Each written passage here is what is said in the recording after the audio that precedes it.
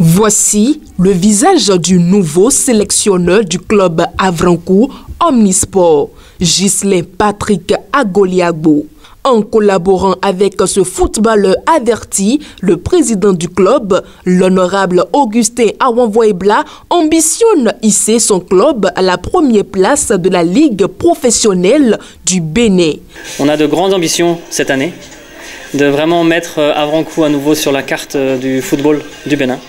Et pour ça, on a, on a, mis les, on, a tout fait pour réellement avoir le, meilleur coach parmi nous aujourd'hui, le coach Gislain. Et on, espère vraiment qu'avec lui, tous les objectifs seront atteints.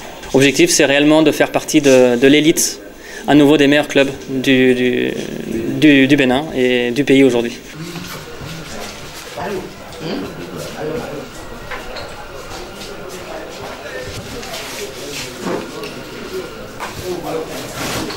Les signatures sont posées pour le nouveau départ du club d'Avrancourt. L'ancien footballeur qui fait son atterrissage ici avec sa valise pleine d'expérience et de performance a de bonnes ambitions. Je tiens à dire un grand merci à l'honorable, euh, le président du bureau exécutif. Je tiens également à dire un grand merci au directeur euh, du bureau également. Euh, avec toutes mes expériences, euh, je viens apporter euh, le spectacle tant a besoin l'équipe d'Avrancourt. Vous savez très bien que l'équipe d'Avrancourt n'est pas une petite équipe. Ils ont besoin de cette identité de jeu. c'est D'ailleurs, vous savez que Laurent était un ancien joueur. Il maîtrise très bien le football et il aime le beau jeu.